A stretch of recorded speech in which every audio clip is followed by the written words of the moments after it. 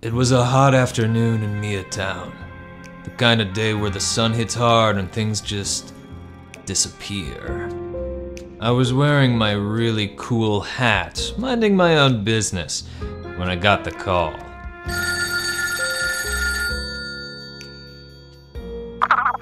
Gone? What do you mean the puddle's gone?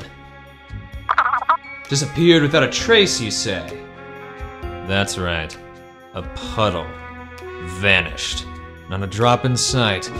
It's the kind of mystery that gets a detective like me thinking. What could have happened? Did someone take it? Did it just walk away? Or was there something bigger at play? Oh, hey, hey, Mia. I was uh, doing science. Yeah, you know, scientists are really a lot like detectives, investigating questions, collecting evidence, and finding answers. Hey, looks like you're ready to crack the case, Mia. Let's solve the case of the missing puddle, scientist style. By the end of today's lesson, you'll be able to explain how scientists make hypotheses and run experiments to find answers to their questions. Let's get into it.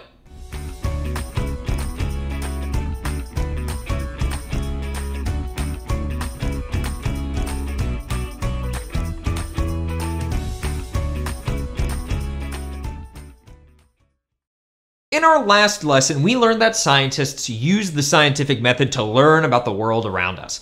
This set of steps begins with making observations and asking questions.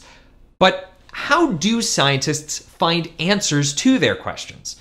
The next step of the scientific method is to make a hypothesis, an educated guess. No, Mia, I, I know how it sounds, but scientists aren't just guessing what the answer will be. Let me explain. Science is all about cause and effect. A cause is what makes something happen, and an effect is what we observe happening because of it. Scientists are always trying to figure out the cause of an effect. In our case of the missing puddle, we're questioning what caused a puddle that was there this morning to disappear. To figure it out, we need to make a hypothesis or an educated guess about why the puddle vanished. Hey, maybe masked bandits came and stole the puddle. Or there could be a new supervillain in town with a puddle disappear ray. Oh, no, no, you're right, Mia. We can't just make any guess and call it a hypothesis. We need to make an educated one. That means our guess is based on clues we've gathered by making observations, or knowledge we already had. Is it possible that bandits stole the puddle? Maybe, but it's not based on what we've observed or what we know about how the world works. So, what clues can we gather here to build our hypothesis? There was a puddle on the ground this morning, and now it's gone. It's also.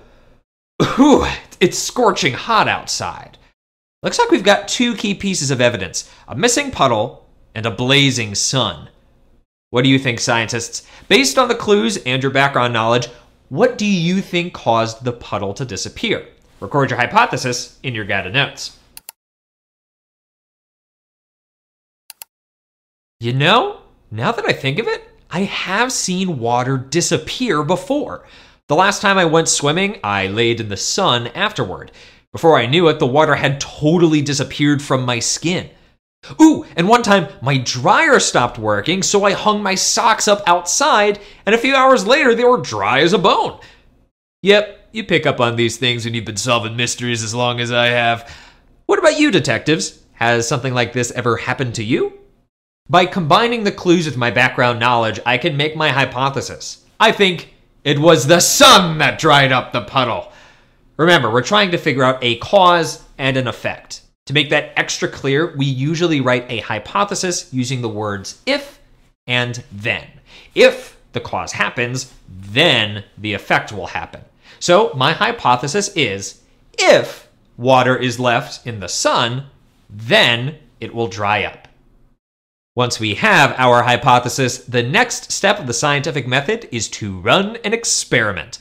An experiment is how a scientist tests to see if their hypothesis could be true. We do this by making a change and observing its effect. Our hypothesis tells us how to set up the experiment. We've got our prime suspect, the sun. Now we're going to put it to the test.